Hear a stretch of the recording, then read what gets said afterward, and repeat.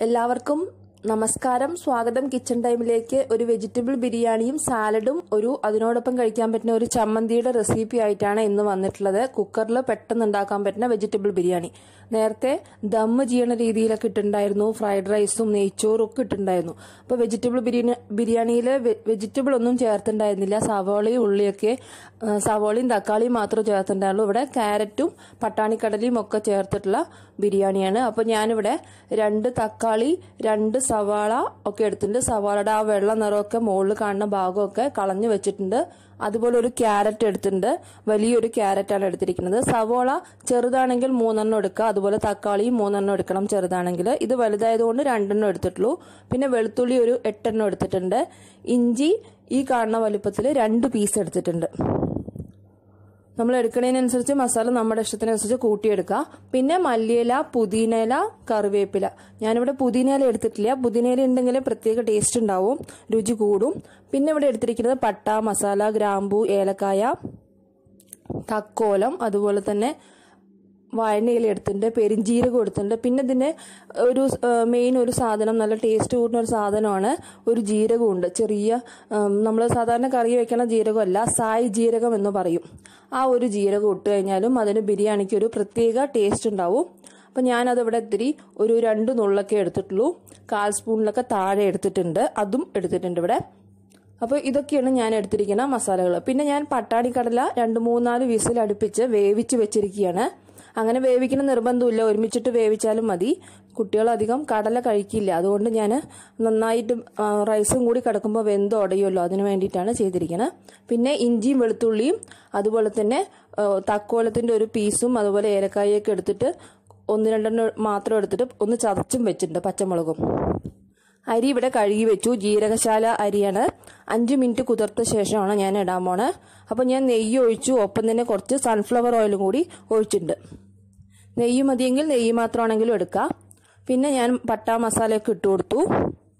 പിന്നെ ചതച്ച് വെച്ച ഇഞ്ചി പച്ചമുളക് വെളുത്തുള്ളി. ഇതെല്ലാം ഇട്ട ശേഷം നന്നായിട്ട് ഒന്ന് വഴറ്റി കൊടുക്കുക. ഒരു മണം ഒരു പ്രത്യേക മണം വന്നു തുടങ്ങും. അപ്പം നമുക്ക് അതിലേക്ക് സവാള ചെറുതായി തീരെ ചെറുതായിട്ടാണ് ഞാൻ എപ്പോഴും മുറിച്ച് വെക്കാറ്. അതുകൂടി ഇട്ട് വഴറ്റാം ദേശ നന്നായിട്ട് മണം വന്നു തുടങ്ങി ഒരു പ്രത്യേക മണം തുടങ്ങി. അപ്പം നമുക്ക് അതിലേക്ക് സവാള ഇട്ട് കൊടുക്കുക. ഇട്ട് കൊടുത്ത് നന്നായി വഴറ്റുക. വേണമെങ്കിൽ ഉപ്പിട്ട് കൊടുത്താൽ വേഗം വഴന്നു കിട്ടും. ഇതൊന്ന് വഴന്നു കിട്ടുമ്പോൾ നമുക്ക് തക്കാളി ചേർക്കാം. പിന്നെ മസാലകൾ വേണമെങ്കിൽ മല്ലിപ്പൊടി നിർബന്ധമില്ല. വേണമെങ്കിൽ ചേർത്താൽ മതി. ഞാൻ ചേർക്കേണ്ട ഒരു സ്പൂണ്. ഒരു സ്പൂൺ ഇല്ല ഒരു സ്പൂൺ താഴെയുള്ളൂ പിന്നെ കുരുമുളക് പൊടി കുറച്ച് ചേർക്കുന്നുണ്ട് മുളക് പൊടി അതുപോലെ ചിക്കൻ മസാല ഒരു അരമുക്കാൽ സ്പൂൺ ചേർക്കുന്നുണ്ട് ഗരം മസാലയും അതുപോലെ കാൽ സ്പൂണോ അര സ്പൂണൊക്കെ ചേർക്കാം. ഞാനിവിടെ പൊടിച്ചു വെച്ചിട്ടുള്ളത് തന്നെയാണ്.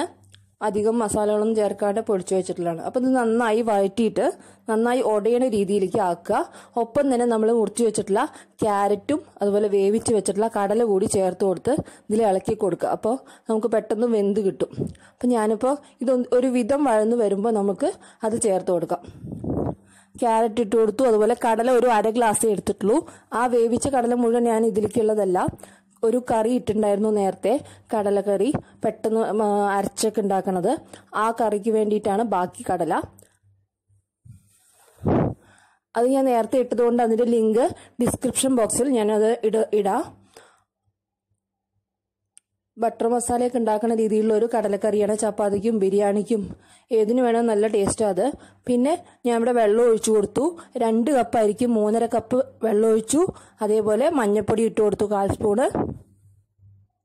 ഇനി ഒരു സ്പൂണ് തൈര് കൂടി ഇട്ട് കൊടുത്ത് നമുക്ക് ഇളക്കിയ ശേഷം ഉപ്പ് ആവശ്യത്തിന് ചേർത്ത് കൊടുക്കുക. കുറച്ച് ഉപ്പ് കൂടുതൽ നിൽക്കണം വെള്ളത്തിൽ എങ്കിലേ അരിയിൽ നമ്മൾ ചോറിലൊക്കെ നന്നായിട്ട് പിടിക്കുള്ളൂ. അപ്പോൾ തൈര് തൈരോ അല്ലെങ്കിൽ നാരങ്ങ ഒഴിച്ചോ. ഒട്ടിപ്പിടിക്കാണ്ടിരിക്കാൻ വേണ്ടിയിട്ടാണ്. പിന്നെ മല്ലിയിലയും കറിവേപ്പിലയും കൂടി കുറച്ച് ഇട്ട് കൊടുത്തിട്ടുണ്ട്. അരി ഇട്ട് കൊടുത്തു. അരി ഇട്ട് കൊടുത്ത് നന്നായിട്ട് ഇളക്കി യോജിപ്പിക്കുക. എന്നിട്ട് അടച്ചു വെച്ച് ഒരു ഒരു അഞ്ച് മിനിറ്റ് കഴിഞ്ഞതും ഓഫ് ചെയ്യുക. ജീരകശാല അരി ആയതുകൊണ്ടാണ് അഞ്ച് മിനിറ്റ് കഴിഞ്ഞതും ഓഫ് ചെയ്ത് വെക്കുന്നത് പിന്നെ അണ്ടിപ്പരിപ്പും മുന്തിരിങ്ങയും സവോളയും അതുപോലെ ഞാനിവിടെ നെയ്യിൽ വറുത്തെടുക്കുന്നുണ്ട്. അതുകൂടി നമുക്ക് അതിന്റെ മേലേക്ക് ഇട്ട് കൊടുക്കാനുള്ളതാണ്.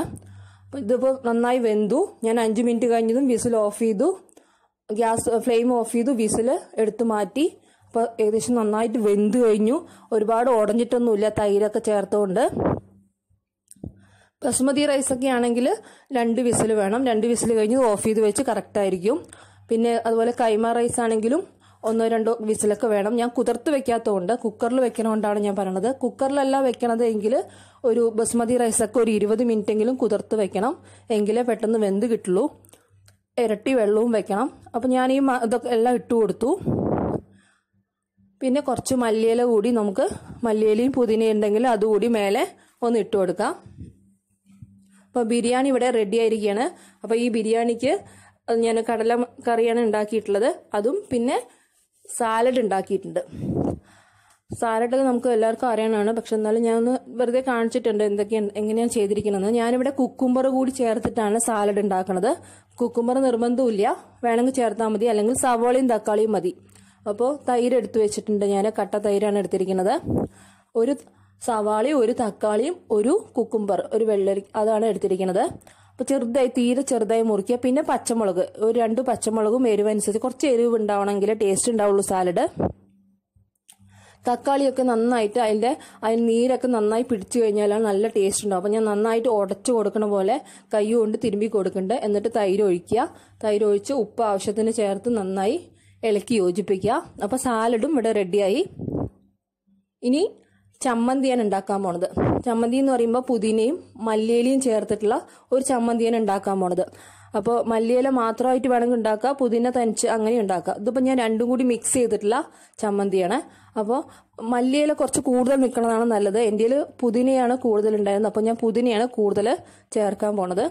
അപ്പോൾ ഞാനിവിടെ തേങ്ങ എടുത്തിട്ടുണ്ട് മല്ലിയില എടുത്തിട്ടുണ്ട് പുതിന എടുത്തിട്ടുണ്ട് ഉഴുന്നെടുത്തിട്ടുണ്ട് പിന്നെ മുളക് പൊടി.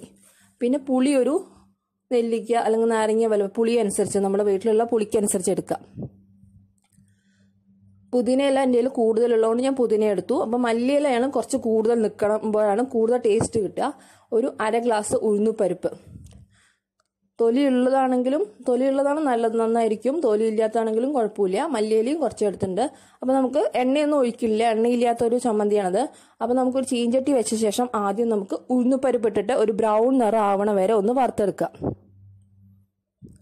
ഞാൻ ഉഴുന്നുപരിപ്പിടുകയാണ് ഒരു ബ്രൗൺ നിറം കരിയാതെ നന്നായിട്ട് അതുവരെ ആവി ആവണ വരെ. വേണമെങ്കിൽ നമുക്ക് കടലപ്പരിപ്പ് ഉണ്ടെങ്കിൽ കടലപ്പരിപ്പ് കൂടി ഇതിന്റെ കൂടെ ചേർത്ത് കൊടുക്കുക ടേസ്റ്റ് കൂടും. അതിനുശേഷം ഇനി തേങ്ങ ചേർത്ത് കൊടുക്കാം. മുളക് വേണമെങ്കിൽ മുളകും ചേർത്ത് കൊടുക്കുക. മുളക് പൊടി വേണമെങ്കിൽ മുളക് പൊടിയും ചേർത്ത് കൊടുക്കുക. മുളക് പൊടി കുറച്ച് കൂടുതൽ ഇടണം. എങ്കിലേ ടേസ്റ്റ് ഉണ്ടാവുള്ളൂ. ഒരു നല്ലോണം എരിവും പുളിയും ഒക്കെ കൂടി നന്നായിട്ട് ബാലൻസ് ചെയ്യുന്ന രീതിയിലാവണം.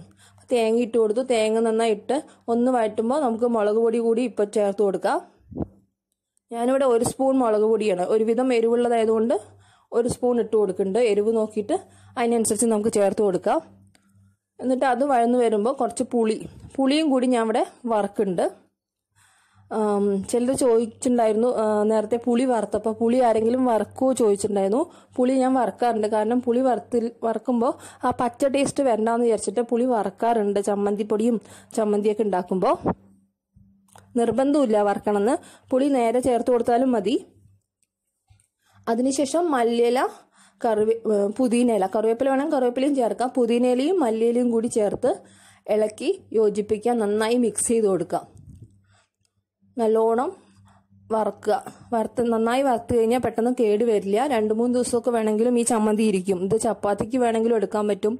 ചോറിന് കഞ്ഞിക്ക് അതുപോലെ തന്നെ ബിരിയാണിക്കും ഒക്കെ. അപ്പോൾ ബിരിയാണിക്ക് വേണം കുറച്ച് ലൂസായിട്ടാണ് വേണമെങ്കിൽ കട്ടിയായിട്ട് അരയ്ക്കാതിരുന്നാൽ മതി.